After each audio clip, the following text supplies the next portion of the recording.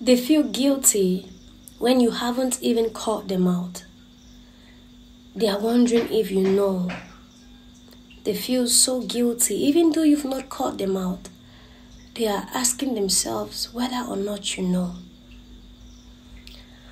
One of the ways to get your enemies uh, to lose their cool or to get them to a point where they are confused is never show them any emotions. You know, you give I, I got to realize you give people power when you confront them.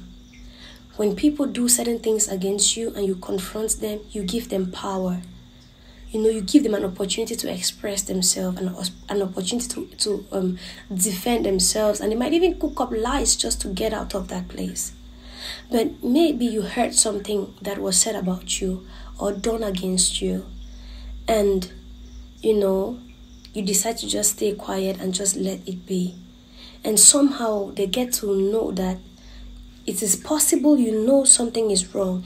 It is possible you know, and they are looking to see if you're going to change in character. They are looking to see if you're going to change your way of talking.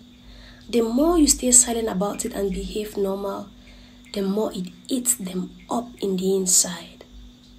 One thing I have learned silence is golden.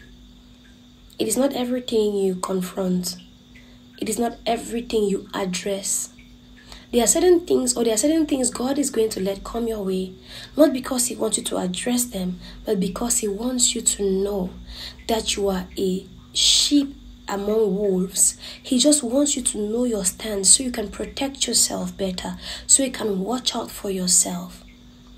Do you know what confrontation does?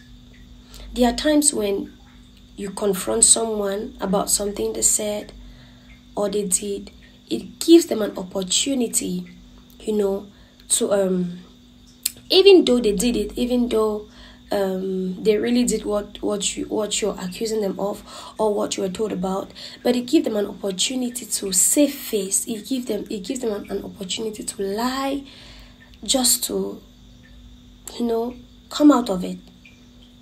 So what do you do god told you for a reason keep it for yourself when they get frustrated, when they when they are looking at you and they are uncomfortable, if it gets to the worst, they will come to you and they themselves will confess about what they did. When they have a wing that you know about it, but you're acting like everything is normal, they will come to you and confess themselves about what they did. And until that day comes, just don't see anything. Keep going like nothing is happening. Just being careful and watching your back.